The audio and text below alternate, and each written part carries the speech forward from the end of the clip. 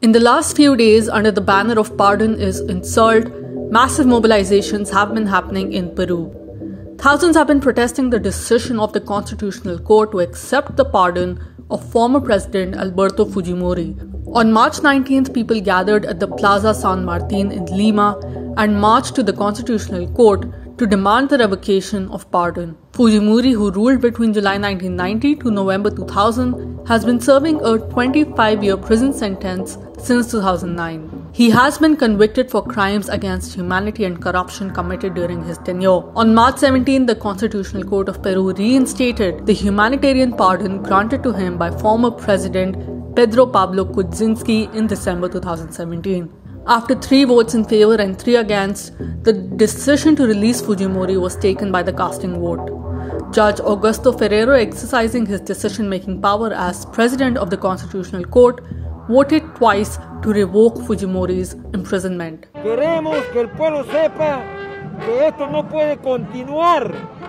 Debe haber cambios, porque en las instituciones del Estado están infiltrados mafias que defienden intereses y sobre todo que defienden a delincuentes como Fujimori. Por eso esta marcha es el inicio de protesta de todo el país, de todo el pueblo, contra estas medidas arbitrarias, indignantes y sobre todo delincuenciales. In 2017, when former President Kuczynski was facing an impeachment process in Congress, he signed and promulgated a supreme resolution granting humanitarian pardon to Fujimori on medical grounds. However, critics point out that it was a part of a deal with the former dictator's youngest son, Kenji Fujimori, who was a legislator at that time. Kenji Fujimori had offered the support of the legislators of his sister Keiko Fujimori's far right Popular Force Party during a no confidence motion against Kuczynski. The pardon was annulled by the Supreme Court in October 2018. The court concluded that the procedure was irregular, contrary to international standards, peculiarly fast, and the medical records supporting Fujimori's illness had inconsistencies. Fujimori's dictatorship in the 1990s was marked by grave human rights violations as well as corruption.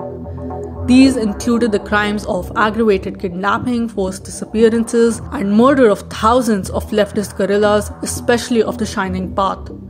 Forced sterilizations of thousands of indigenous men and women also happened during his rule. Alberto Fujimori's government deployed right wing extremist death squads like Grupo Colina, along with Peruvian security forces, to eliminate left wing insurgent groups leading to large scale human rights violations and casualties. In 2000, when the parliament geared up to impeach Fujimori over charges of corruption, he fled to Japan. He was arrested in Chile in 2005 during a private visit and extradited to Peru in 2007. In 2009, he was found guilty as an indirect perpetrator of the Barrios Altos massacre in 1991 and the La Cantuta massacre in 1992. The Peruvian courts found him guilty on various charges such as financing the human rights violations perpetrated by death squads in the two human rights violation cases and 10 corruption cases. Meanwhile, the Constitutional Court's ruling has been widely criticized nationally and abroad. President Pedro Castillo condemned the decision, stating, The institutional crisis to which I refer to in my message to Congress